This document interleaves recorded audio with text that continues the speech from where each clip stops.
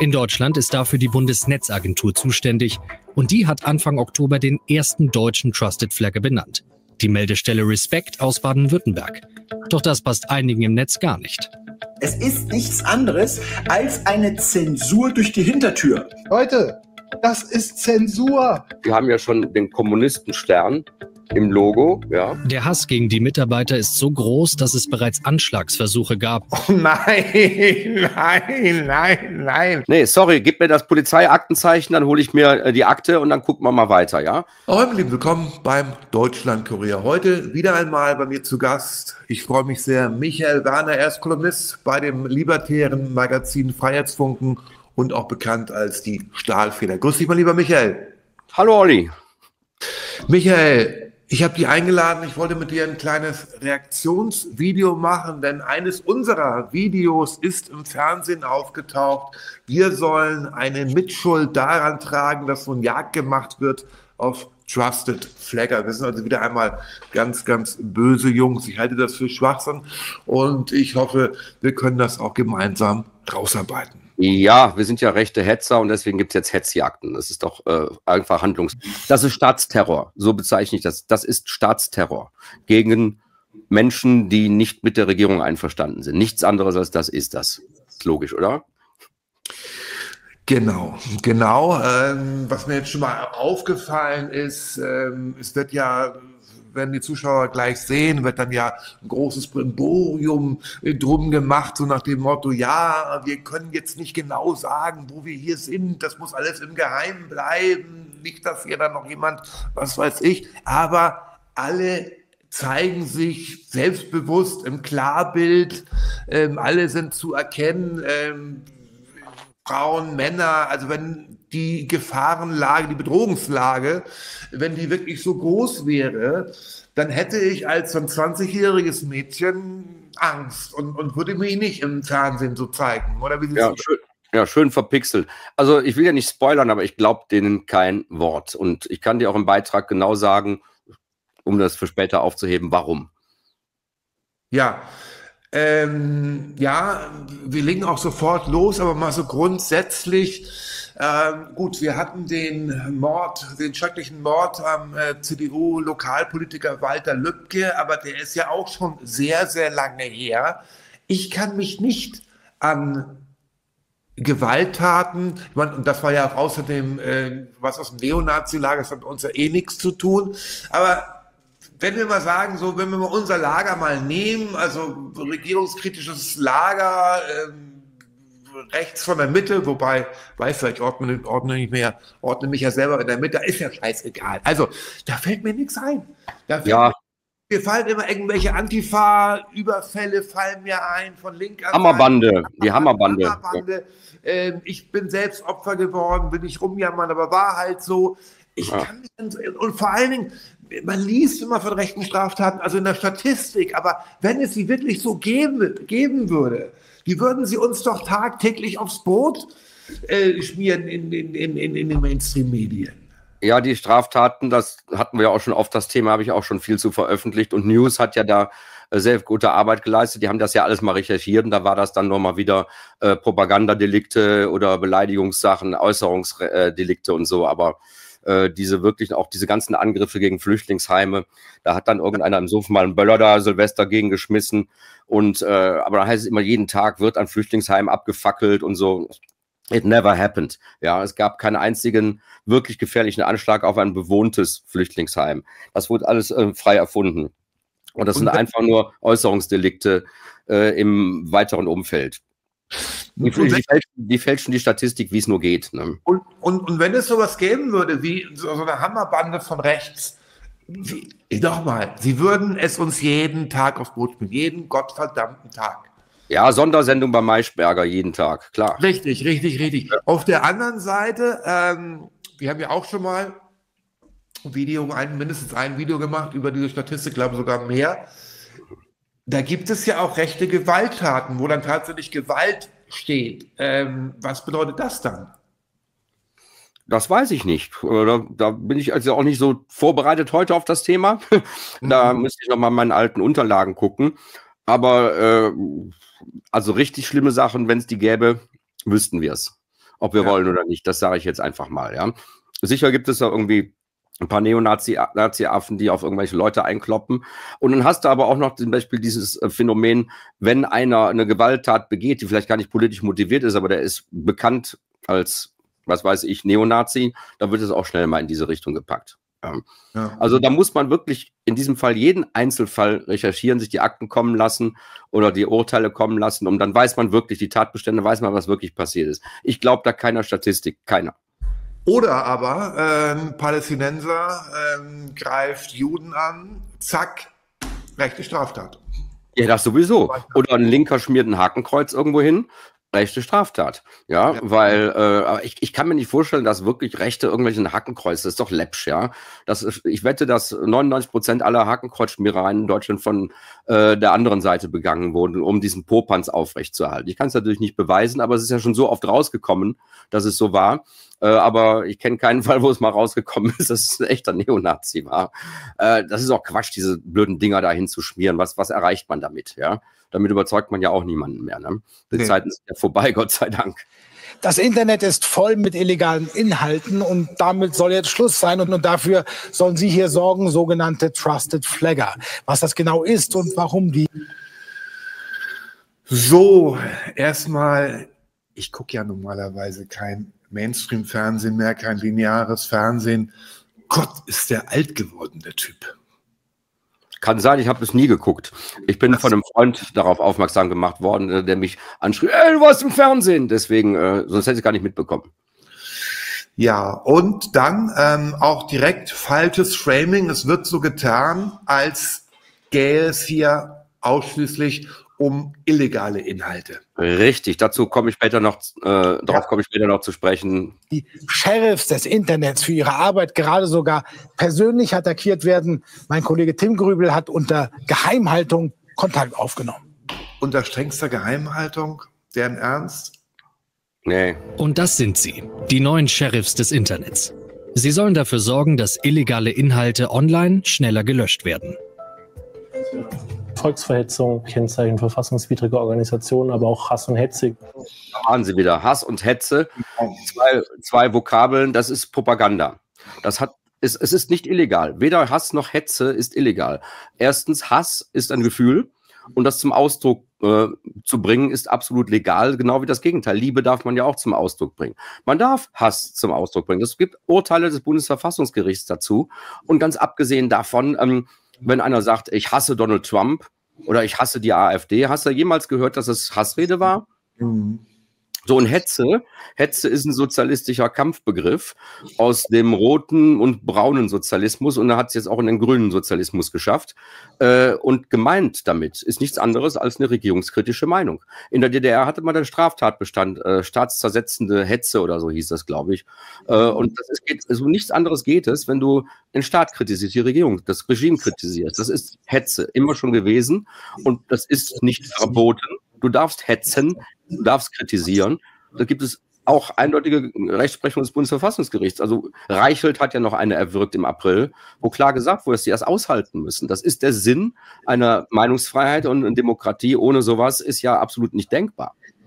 Und die mhm. tun jetzt so, indem sie dieses Framing benutzen, Hass und Hetze, dass sie den Leuten suggerieren, das wäre strafbar. Die meisten Menschen in Deutschland glauben inzwischen, dass Hass und Hetze Straftatbestände sind. Sind sie aber nicht. Das heißt Meinungsfreiheit.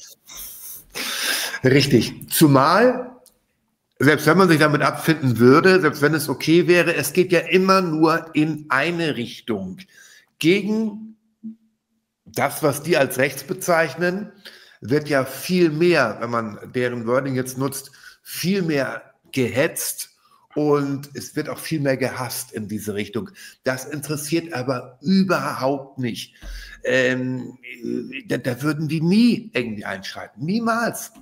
Man kann sich einen Spaß daraus machen, äh, dem einfach deine Blase, dass du dir dazu aufrufst, äh, das auch mal zu machen. Also nicht zu hassen und zu hetzen, sondern sämtliche Sachen, die sowas enthalten gegen deine Leute, ja, einfach da mal melden und dann mal gucken, was passiert. Und die zuscheißen mit solchen Meldungen. Das kann man ja auch machen. Ne? Also es, es, es, das muss ja denen nicht allein überlassen sein, dieses Portal zu nutzen. Einfach aus Gag mal äh, irgendwelche Äußerungen, dann nicht von irgendeinem armen Schwein, äh, sondern von wirklich Politikern. Da findet sich eine Menge, zum Beispiel Friedrich Merz, der äh, die AfD als Gesindel bezeichnet hat. Ja, was ist das denn bitte für eine Sprache? Das erinnert an dunkelste Zeiten. Ja. Und äh, das müsste man einfach mal melden. Mal gucken, was dann passiert. Und dann sehen wir ja, was Sache ist. Doch für ihre Arbeit werden die Trusted Flagger gerade massiv angefeindet. Es ist nichts anderes als eine Zensur durch die Hintertür. Das sind Stasi-Methoden. Und das macht natürlich mir und meinen Kollegen schon Sorge. Wer steckt hinter den Trusted Flaggern? Wie funktioniert das Löschsystem? Also da massiv angefeindet. Mein Gott nochmal, ja, was werden denn wir angefeindet, ja? Also das ist einfach ein Shitstorm haben sie bekommen und ich muss sagen, völlig zu Recht, äh, weil auch völlig klar war, in welche Schlagrichtung das geht und äh, was kritisiert wird, ist, dass sie vom Staat finanziert werden, ja? Das äh, kommt ja in dem ganzen Beitrag hier komischerweise nicht zur Sprache. Also die Kritikpunkte, die kamen von uns allen, keiner davon. Alles, was da gezeigt wird, ist so, ja, Stasi-Methoden und so. Ja, das ist natürlich, der Vergleich bietet sich aber an, sorry, ja. Die schnüffeln Privatleute aus und sammeln Daten. Da muss man auch mal Frage stellen, die Frage stellen, ob es überhaupt erlaubt ist, solche Datensammlungen zu machen. Was ist mit DSGVO und so? Ja, das ist, äh, das ist eine Auslagerung staatlicher Sachen ins, also sogenannte Flucht ins Privatrecht, weil diese Trusted Flagger machen Dinge, die der Staat nicht darf. Der Staat darf nicht. Der Bundesverfassungsschutz darf zum Beispiel eigentlich gar keine Privatleute beobachten. Und die machen das hiermit. Die sammeln Daten, die der Staat nicht sammeln darf.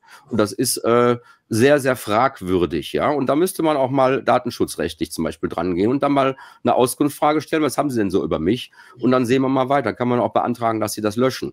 All solche Sachen, ja. Und all, und all diese Argumente, die gegen die Trusted Flagger gibt, in den ganzen Beiträgen, aus denen die zitieren. Zum Beispiel, was wir damals gemacht haben, kann ich gleich noch drauf kommen. Wir haben da ja so viel zu gesagt und da ist dann nur ein einziger Satz und das ist der unwichtigste gewesen. Ja, da kommen wir gleich zu, wenn es kommt. Aber die haben einfach einen Shitstorm bekommen. Und sorry, das muss man aushalten, ja. Das ist halt massive Kritik. Und man hat ja gesehen hier, das ist Zensur, sagt äh, der Koll, ja. Ja, das ist, was denn sonst? Es ist natürlich nicht das, was man juristisch unter Zensur äh, versteht. Das ist juristisch falsch ausgedrückt, aber letztendlich läuft es am Ende auf das hinaus, was so der Volks, das Volksbewusstsein als Zensur empfindet. Ja, zumal massiv angefeindet. Ähm, das äh, klingt für mich ja auch, als ob jetzt diese einzelnen Personen massiv angefeindet worden wären. Was massiv angefeindet worden ist, das ist die Sache als solches. Die Institution. Ja, ja genau. Ähm, und ich finde auch, ähm, die Beispiele, die Sie dafür genannt haben, haben Sie da wirklich nichts Härteres gefunden? Haben Sie keine massiveren Anfeindungen gefunden als diese dann doch eher entspannten Aussagen? Gut, das mit der Stasi, okay. Ja, das ist doch nicht schlimm, ah, sorry, also, ne?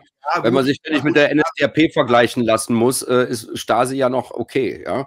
ja. Aber jetzt mal ganz abgesehen davon, du hast völlig recht, hätten sie Beispiele von richtigen Angriffen, dann hätten wir die zu sehen bekommen. Ja, so eine richtige Drohmail mit Morddrohungen und so, dann hätten sie die in die Kamera gehalten, äh, mit verpixelt äh, Absender meinetwegen, aber da ist ja nichts. Die haben nicht ein einziges Beispiel. Und wenn das ihr, ihr bestes Beispiel ist, dann sorry, dann gibt es keine Anfeindungen. Dann gibt es einfach nur massive Kritik und die ist gerechtfertigt. Und selbst wenn sie nicht gerechtfertigt wäre, muss man sie aushalten, das gehört sich so wer massiv angefeindet wurde. Und das wurde ja auch begründet. Warum ist er dieser Moslem, der der Direktor von dieser einen, von diesem einen äh, NGO, äh, von dieser einen NGO da ist. Und äh, aber da wird gar nicht, da wird, glaube ich, im ganzen Bericht überhaupt nicht drauf eingegangen, ne?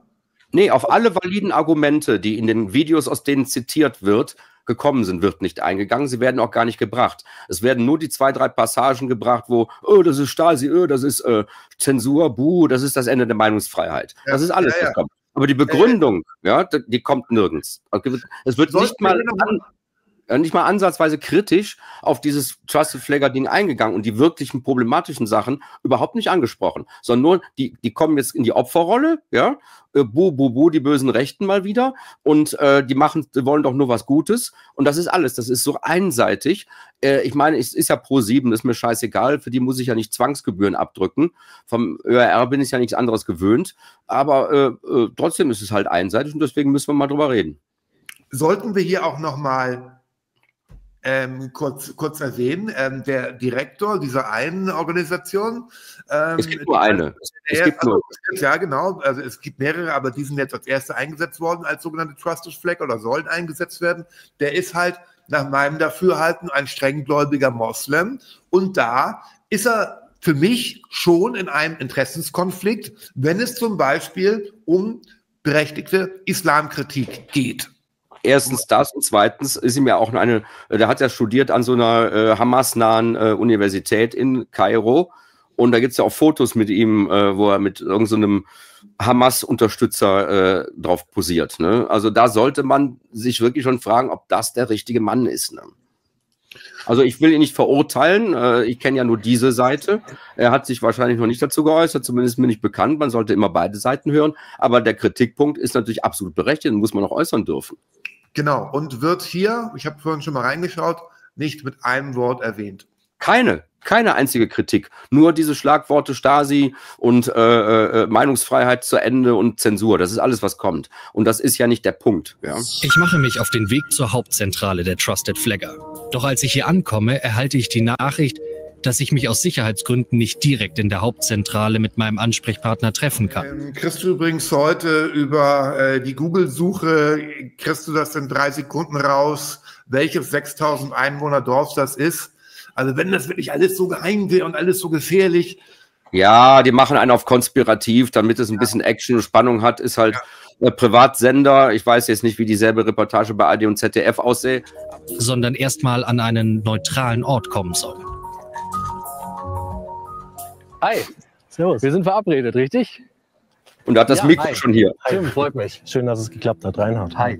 Reinhards Nachnamen dürfen wir nicht nennen. Und er ist heute der. Ist ja auch wieder so komplett gestellt. Wer hat also, ist schon verkabelt, das Mikro hier, ne? Ja, gut, Und, äh, das ist normal, das, das, das, das würden wir nicht anders machen. Aber seinen Nachnamen dürfen wir nicht nennen. Ich meine, der ist da im Vollbild, im Klarbild zu sehen und da hat man den Nachnamen doch auch in drei Sekunden raus, wenn man das dann wollte. Also, ah, es ist so lächerlich. Es ist so lächerlich. Naja. Der Einzige, der vor der Kamera mit mir über seine Arbeit sprechen wird. Denn für die Mitarbeiter ist es mittlerweile einfach zu gefährlich. Seit dem 1. Oktober sind wir leider auch Opfer von verschiedenen Hasskampagnen im Netz. Und deswegen haben wir ein Sicherheitskonzept und müssen darauf achten, dass wir eben gerade die Büroräume und unsere Mitarbeiterinnen und Mitarbeiter da nicht gefährden. Jetzt haben wir wieder die beiden Worte Hass und Hetz, also Hasskampagne. Also da haben sich Leute einfach nur aufgeregt, ja, und haben da Shitstorms gemacht, Hasskampagne. Also eine Kampagne ist was Finanziertes, was Konzert, Konzertiertes, ja. Aber ja. haben einfach Leute spontan reagiert auf die viele Berichterstattung und ihrer Wut freien Lauf gelassen. Ja. Entschuldigung. Und das ist alles. Aber da wird gleich wieder so gemacht, als stünde da irgendwas hinter. Aber auf der anderen Seite gibt es ja gar keine NGOs mit dem vielen Geld, um Kampagnen zu machen. Was die machen, sind Kampagnen. Auch ganz konkret haben wir einen Mitarbeiter, ähm, der bedroht wurde. Ähm, das macht natürlich mir und meinen Kollegen schon Sorge. Also wenn, wenn, die noch, wenn noch niemand weiß, wer da arbeitet, wie kann denn ein spezieller Mitarbeiter da bedroht worden sein? Also das ist doch schon Widerspruch in sich. Aber wie gesagt, gäbe es das, gehe ich jede Wette ein, hätten sie das Ding in die Kamera gehalten. Weil Ne? Klassiker, ist der Klassiker. Machen sie immer. Was von deiner Arbeit sehen? Klar, gerne. Ja, okay. Wichtig wäre nur, dass wir keine Details zeigen, wo wir uns befinden oder Häuserfassaden. Es, es ja, ja. kann doch nicht deren Ernst sein. Es kann doch nicht deren Ernst sein. Der Hass gegen die Mitarbeiter ist so groß, dass es bereits Anschlagsversuche gab. Und oh nein, nein, nein, nein. Er hat doch selber. Ja. Wenn noch keiner weiß, wo die sind, ja, wie soll das passiert sein? Nee, sorry, gib mir das Polizeiaktenzeichen, dann hole ich mir äh, die Akte und dann gucken wir mal weiter, ja? Äh, ich glaube es nicht. Ich sage es ganz ehrlich, ich glaube es nicht. Wir wüssten es ja, auch. Wir wüssten Dingen, es. Er, er jazzt das ja jetzt noch höher als, als, als, als, der, als der Mitarbeiter da. Äh, das, ja, er hat ja so lapidar, ja, ein Mitarbeiter wurde schon bedroht und jetzt gab es schon Anschlagsversuche. Also, Gott, oh Gott, oh Gott ja. mittlerweile sogar der Staatsschutz eingeschaltet wurde. Für unseren Dreh heißt das absolute Diskretion. Niemand darf wissen, wo wir jetzt genau hinlaufen. Denn dass wir jetzt doch in die Hauptzentrale dürfen, ist eine absolute Ausnahme. Die Meldestelle gibt es schon seit 2017. Die Mitarbeiter haben eine eigene Plattform entwickelt, auf der sie Online-Meldungen entgegennehmen und prüfen, ob es sich bei bestimmten Social Media Nee. Du musst, wenn ich die Hand hebe, muss auch mal gucken. ja, ja, ja, ich war auf der anderen Seite. Aber du wolltest sagen, dass die Dunkelhaarige ganz hübsch ist. Naja, finde ich auch. Wollte ich nicht sagen. Ich wollte sagen, äh, wir sind jetzt bei ungefähr der Hälfte des Berichts. Ja. Und die, der einzige Informationsgehalt, abgesehen von vier Sekunden, äh, Mhm. ist, dass die geheim sind, geheim, geheim, geheim, geheim und bedroht und bla. bla. Es geht also, die eine Hälfte des Berichts geht überhaupt nicht zur Sache. Es wird sich überhaupt nicht mit der Sache selbst auseinandergesetzt. Die ganze Zeit ging es nur darum, ja, äh, was, also es ist so eine Gewichtung, als gäbe es über dieses Thema nichts anderes zu sagen. Und damit ist doch schon klar, worauf es hinausläuft. Die sollen da als Helden dargestellt werden, die sich für das reine wahre Gute einsetzen und alle anderen sind die Bösen. Deswegen müssen die jetzt da in irgendeinem Bunker hocken, was sie offensichtlich nicht tun, und haben Angst vor die Tür zu gehen. Zeigen sich aber mit ihren unverpixelten Gesichtern. Finde Ja. den Fehler. Ja, auch vor allen Dingen junge Mädchen oder junge Frauen. Ähm, und wir wissen, ähm, Frauen sind ja gerade was so Bedrohungslagen angeht und so jetzt in, in der Regel, in der Regel nicht so die mutigen. Und ähm, ja. Ja, ich, ich frage mich jetzt, was für eine junge Frau gefährlicher ist, im Internet äh, Hassrede aufzuspüren oder nachts oder abends durch den Park zu gehen. Wir haben aktuell einen Schnitt von 87 Meldungen pro Tag, zum Beispiel die Volksverhetzung, Nennung von Kennzeichen verfassungswidriger Organisationen, aber auch Hass und Hetze. Das ist so das, was ähm, den größten Teil unserer Arbeit ausmacht. Seit Oktober ist die Organisation Respect Deutschlands erster Trusted Flagger, also ein vom Staat verifizierter, vertrauenswürdiger Hinweisgeber. Aber was ist das genau und warum brauchen wir das überhaupt? 2022 beschließt die Europäische Kommission den sogenannten Digital Service Act. Der soll Social-Media-Plattformen wie Facebook, X oder TikTok verpflichten, stärker gegen illegale Inhalte vorzugehen. Das sind zum Beispiel Volksverhetzung, Beleidigung oder Antisemitismus. Dazu will die EU sogenannte Trusted Flagger einsetzen. Das sind unabhängige Organisationen, die die illegalen Inhalte sammeln und direkt an die Plattform senden. Das sollten Ja, wir das- nur mal erwähnen, sie sind natürlich nicht unabhängig. Ne? Ja, das sind, natürlich sind sie nicht unabhängig, weil sie ja abhängig sind vom Staat, also sprich von der Regierung, die ihnen die äh, Mittel zuschießt. Und dann ist es auch noch falsch gewesen. Es heißt Digital Services Act. Ja. Mhm. Und nochmal zu den Kennzeichen verfassungswidriger Organisationen, was das auch sein kann. Da gibt es ja dieses berühmte Beispiel des Publizisten und Islamkritikers Michael Stürzenberger, der seinerzeit für PI News einen Artikel geschrieben hat über die Nähe damals des äh, Großmuftis ähm, von Jerusalem, also ein Moslem, zu Adolf Hitler. Und da gibt es ja dieses berühmte Foto. Mhm. Und ähm, auf diesem Foto siehst du dann auch ein paar Uniformen und auf diesen Uniformen siehst du dann auch ein paar Abzeichen verfassungswidriger Organisationen. Und dafür, Einer speziell, dafür, ja. dafür ist der Michael Stürzenberger verknackt worden, obwohl Ja. das ein journalistischer Artikel war. Da musst du dir mal vorstellen. Wie weit ist er denn gegangen von den Instanzen? Das weiß ich nicht mehr, aber ähm, Also das vom, vom Bundesverfassungsgericht wäre das kassiert worden, sorry, aber da muss man auch durch alle Instanzen gehen. Man darf niemals sich mit einer ersten Verurteilung äh, zufrieden geben. macht, sowas. er, macht er eigentlich auch nicht. Ähm, das wundert mich jetzt, wo du mich gerade darauf ansprichst, wundert mich jetzt auch. Müsste ich nochmal genau zu fragen, ist ja aber lange her. Aber das ist, wie gesagt, eine seiner ganz, ganz wenigen Verurteilungen. Und ähm, ja, absoluter Vor allen Dingen er das Kennzeichen ja gar nicht verwendet. Verwenden heißt, ja, guck mal, wie oft sind Hakenkreuze auf dem Spiegelcover, ja, äh, oder sonst, ja. Also verwenden heißt ja auch im ursprünglichen Sinne verwenden und nicht äh, etwas zitieren mit Bezug, ja. Damit verwende ich das ja nicht. Ne? Es ist ja auch was anderes, äh, wenn ich sah, wenn ich jetzt jemanden so grüße, wie ich ihn nicht grüßen darf, oder wenn ich jetzt sage, äh, im Dritten Reich haben alle Heil Hitler gesagt, ja, das ist halt was völlig anderes. Dann verwende ich die Parole ja nicht. Ja. Wenn ich grüße erst, wenn ich meine Kumpels so begrüße, ja.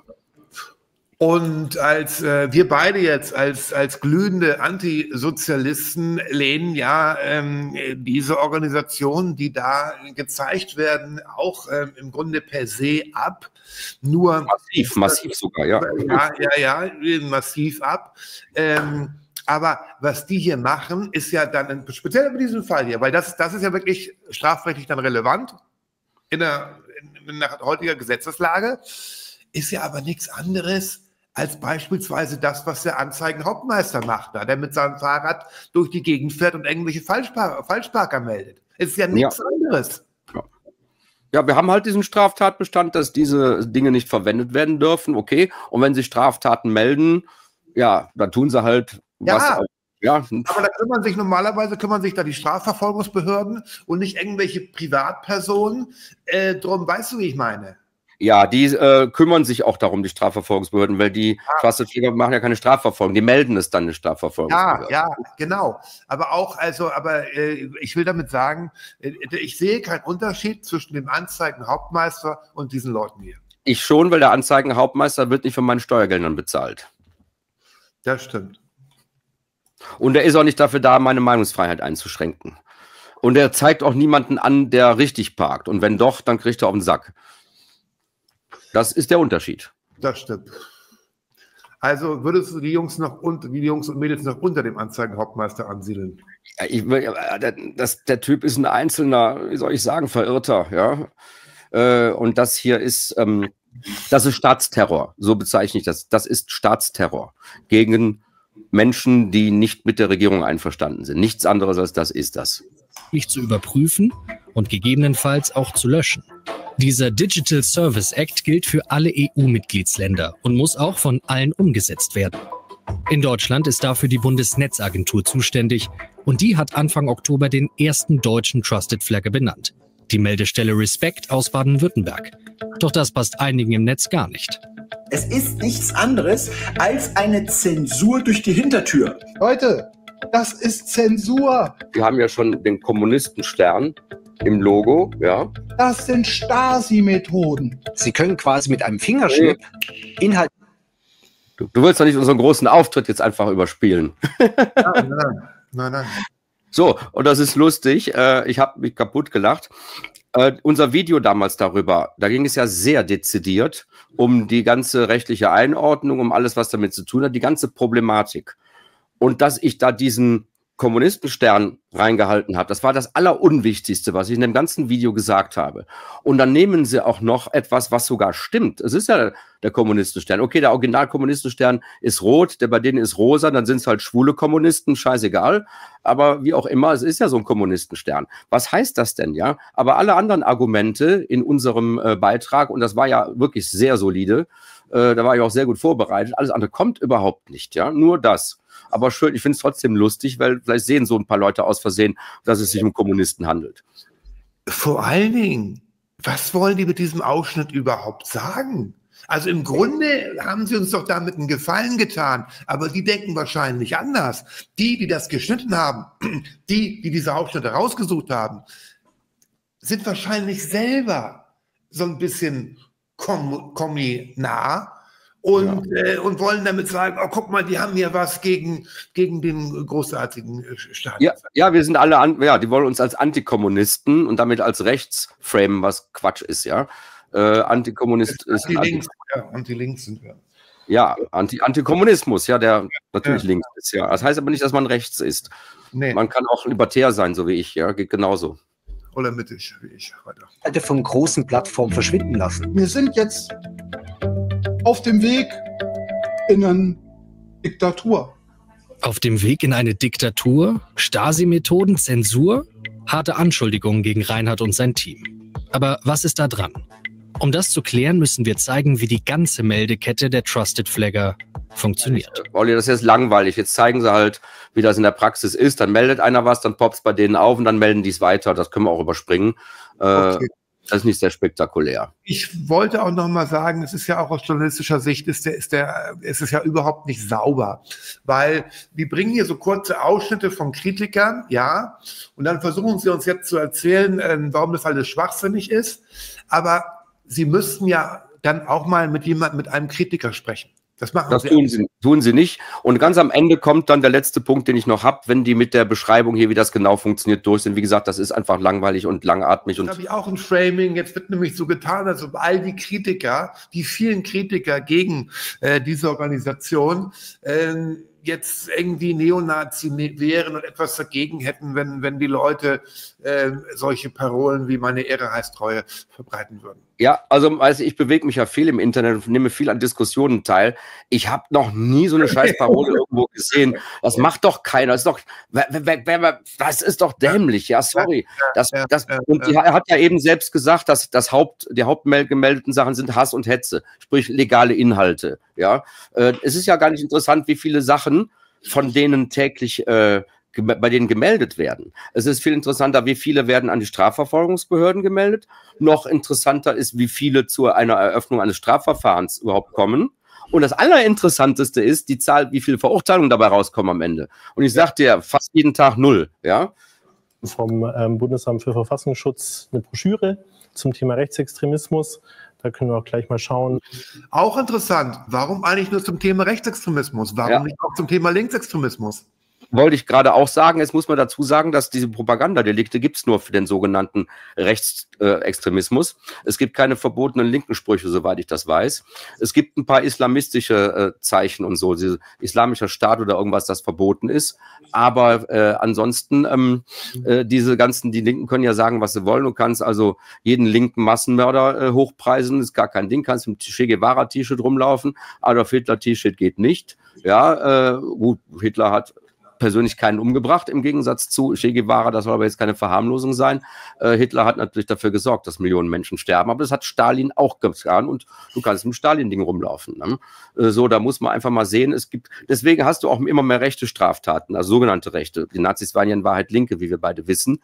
Aber du hast diese rechten Straftaten, weil du halt Propagandadelikte hast, die es für die andere Seite nicht gibt. Die können sich auf diese Weise nicht strafbar machen. Und wenn sie jetzt sowas hier haben mit Trusted Flaggern, kommen noch mehr Anzeigen. Verstehst du?